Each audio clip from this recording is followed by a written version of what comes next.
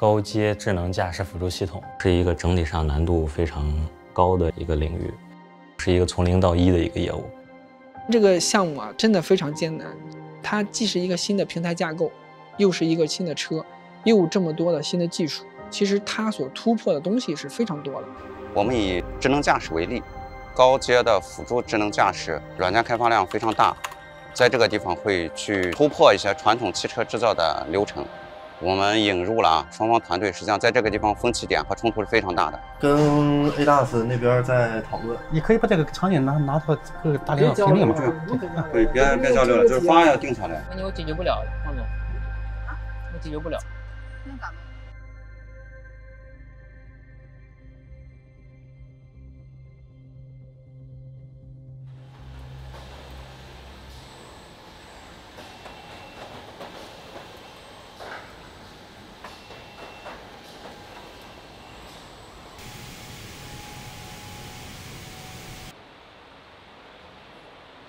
呃，咱们 T 二现在是一千五百零八项，然后是还有十四项没关啊。超期的总共今天是三项，大家都先先说一下吧。我看啊，那个碰撞警示音就是呃静止时候把碰撞警示音关了，这个呃已经给华为提完需求了。这是第七个嘛，是吧？啊，对对。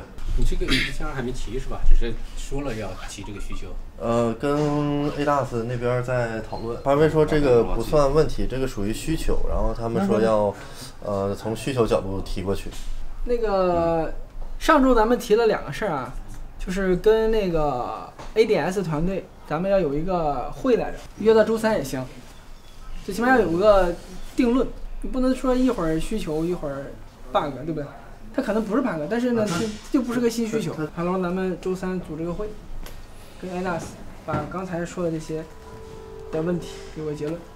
那可以啊，嗯，好吧。嗯，还有一个奈万四的路名，那个后排那个那耐斯板那个，还还在第四那儿。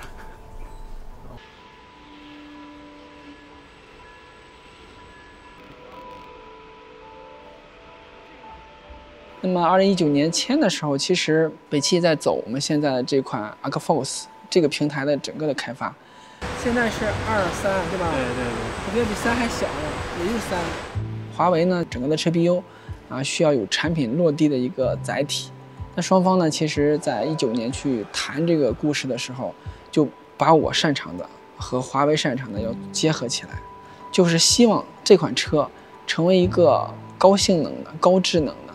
能够被市场广泛接受的一款好车。HI 意味着是搭载了我们这个全站华为解决方案的一辆车。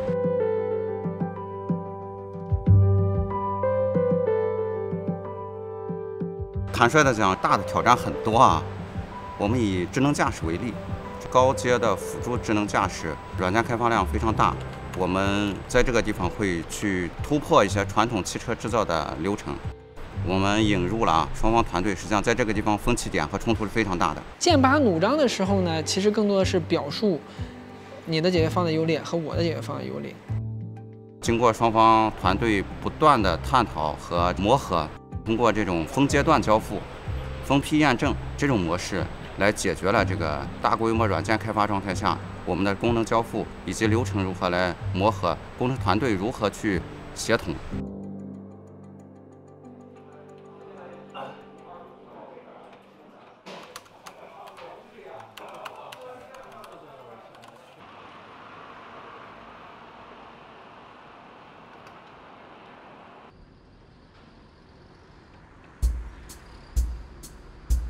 这条线以前是每天都要测。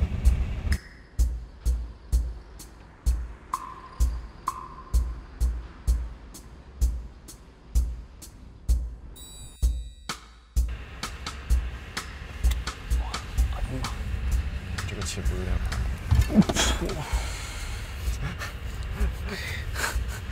我才发现这这个，嗯，这个经常见的。高智能从硬件的表现上，其实最明显的是我们使用的三颗激光雷达。我们在摸高的这个过程里边，我们想要突破，那么突破 L 二级的这种束缚的时候，我们是需要有解决方案的。那么最大的需要克服的障碍就是怎样把感知提高上去，同时把我们的算法提高上去。我现在要知道一个事儿啊，就是今年还是说交付交付量产的事儿。嗯。今天晚上是一百，然后今天节拍怎么样？现在目前还还在做节拍的一个提升优化，满足咱们后续生产就是。现在是几个人？现在的话，激光雷达封装这块是两个人，然后整条线的这块封装的还有四个人啊。在行业内，特斯拉就是一个标杆。那么特斯拉解决呃自动驾驶这些问题的时候，它采用的还是以智能的摄像啊，通过图像的这种学习去解决感知的问题。但是在这里面呢，其实它有一个时间维度的概念，只有你学会了啊，这是一个人，这是一个小狗，这是一个。啊，锥筒，那么它才知道这个位置啊，这个东西是个什么。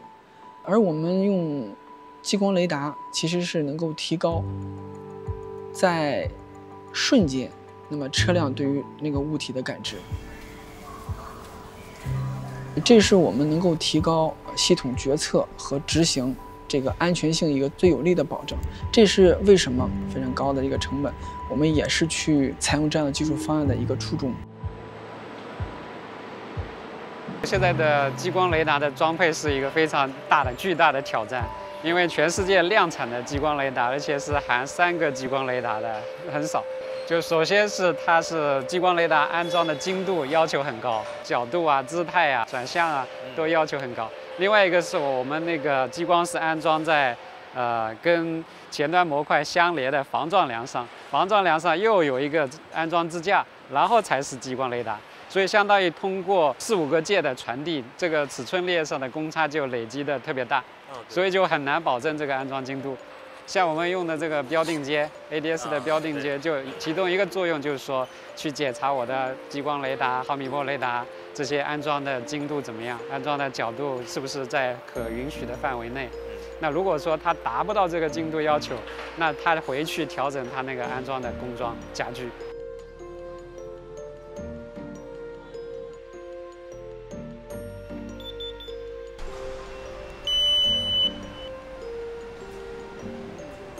现在就是对这个车整车做一个检测，然后看它符不符合进入 ADAS 标定间的一个标准。我们这个车一直提一个概念，就是硬件的水平比较高，在这个车辆的初始阶段，我们需要有一个标定的过程，去把我们的传感器做一遍检查，校准我的传感器。是不是达到了可使用状态的这样一个过程？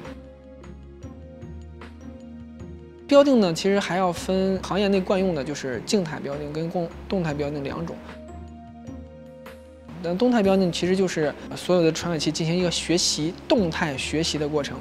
那么这个呢，在工厂内会做其中一部分。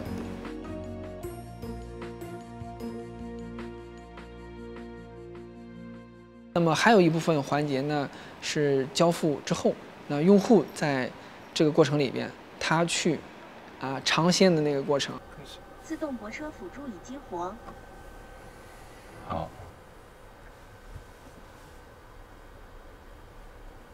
你买了这个车，你跟他之间交互交流。哎，带他去北京钻胡同去。然后知道他在学习。那这个动态标定其实就告诉你啊，我学习完成了，然后你对我可以大胆放心的信任。我不是说非常放心啊，应该说我是非常激动的，就赶紧交给他了。交给他之后呢，他也能够实现让我比较放心的一个感受。首先，它不像是某些品牌，它自动驾驶就是有点像比较冲啊，就是保持在车道上啊，保持你所规定的车速，保持跟前车距离，它就完成任务了呀。但是它这辆车不是。它似乎能够更多的去预算它所能够判断到的每一辆车的那个提前预判它的行车轨迹的这种感觉啊，然后包括前面的，它也会根据前面车型所占道的比例去对自己占道的方位进行调整，这点是我特别佩服的。它真的没让我失望，应该说真只能说，你要非得让我去找形容词，我只能说惊喜连连，没有失望。毋庸置疑，它是第一梯队的。而且是第一梯队里面呃比较靠前的产品。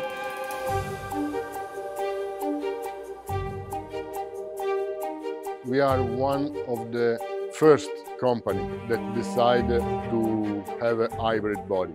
It's so light and so strong. Arcfox Alpha S HI is the only model where this matte color, the official black matte and the Xerox gray matte is available.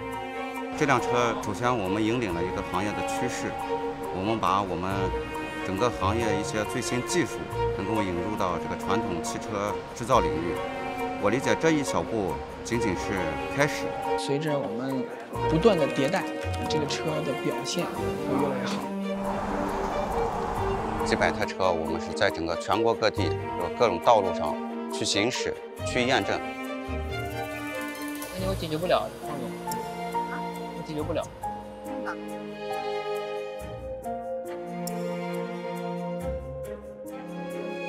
他把版本回退了，回退到一个正式的装车版本就解决了。他那个调试版本可能有点问题，但是这个是正式的版本。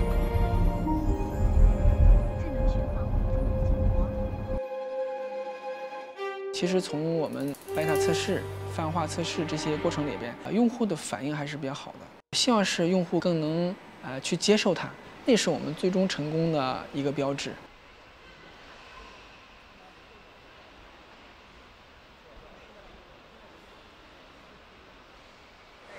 要不然就是咱们真的奋战了一千多天的兄弟啊，都是自己人，现场就把每天早上开晨会的感觉带出来，就是一个早晨的晨会。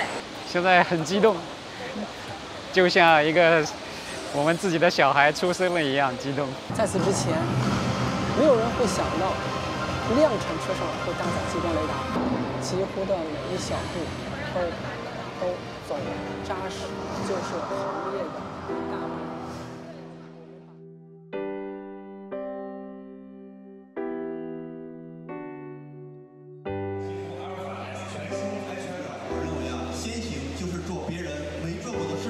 坦率的讲，这是一个比较拼搏的团队。在这个项目当中，其实有很多的东西是第一次的，它相当于掀起了一个序幕。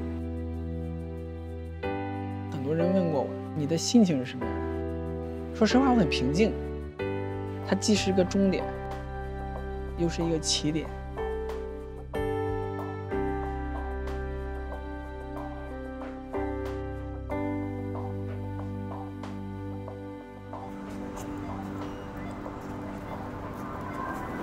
走走走，非常好。